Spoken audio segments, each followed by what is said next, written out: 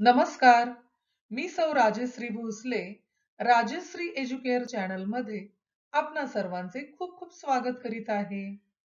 भारतीय सण उत्सव या मालिकेत आज आपण भोगी या सणाविषयी सविस्तर माहिती पाहणार आहोत. भोगी हा सण कसा साजरा केला जातो त्यामागील शास्त्रीय कारण व भोगीच्या दिवशी बनव बनवली जाणारी विशेष भाजी का आणि कशी केली जाते याविषयी सविस्तर माहिती पाहूया. भोगी सणाची माहिती. न खाई भोगी तो सदा रोगी. हे आपण नक्कीच ऐकलं असेल. याचा अर्थच आहे की जो कोणी भोगीची भाजी खाणार नाही तो रोगाने ग्रस्त होईल. भोगी हा सण मकर संक्रांतीच्या आदल्या दिवशी साजरा करतात. भोगी हा उपभोगाचा सण आहे. म्हणजेच कुटुंबीय समवेत रुचकर भोजनाचा आनंदाचा उपभोग घ्यायचा. या दिवशी सकाळी घर आणि सभोवतीचा परिसर स्वच्छ करावा. दारासमोर रांगोळी काढावी.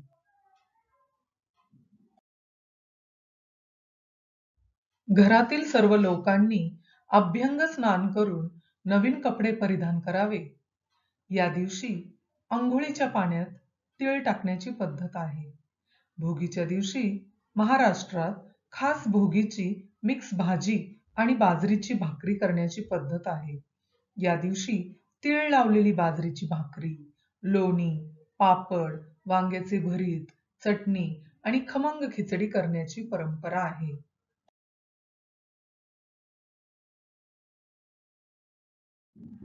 अनेक ठिकाणी सासरच्या मुली भोगी सणाचा आनंद घेण्यासाठी या दिवशी माहेरी येतात. भोगी साजरी करण्यामागील कारण इंद्र देवाने धरतीवर उदंड पिकं पिकावी म्हणून प्रार्थना केली होती. म्हणून पिकं वर्षानुवर्ष अशीच पिकत राहावी या प्रार्थनेसह भोगी साजरी करण्याची प्रथा आहे. या दिवशी काही राज्यांमध्ये लहानशी होळी पेटवून त्यात काही वस्तूंची आहुतीही दिली जाते. या दिवशी करण्यात येणारी भोगीची भाजी खूपच पौष्टिक असते. हिवाळ्यात सर्व प्रकारच्या भाज्या येतात. शेताला नवीन बहर आलेला असतो. त्यामुळे या काळात भोगीची भाजी आणि तीळ लावलेल्या बाजरीच्या भाकरीचा आस्वाद घेतला जातो.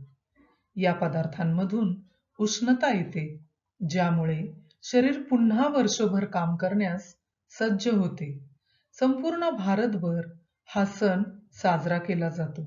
या सणाला देशभरात वेगवेगळी नावे आहेत. तामिळनाडूत हा सण पोंगल तर आसाममध्ये भोगली बिहू नावाने ओळखला जातो. पंजाबमध्ये लोहिरी तर राजस्थानमध्ये उत्तरावण म्हणून साजरा केला जातो. या दिवशी जुन्या वाईटाचा त्याग करून चांगल्या गोष्टी अंगीकारल्या जातात. वर्षभर काही चुकले असल्यास तिळगुळ देऊन क्षमा मागितली जाते आणि वर्षभर नात्यातील गोडवा टिकून राहावा अशा शुभेच्छा दिल्या जातात. सर्वांना भोगी या सणाच्या खूप खूप शुभेच्छा. धन्यवाद.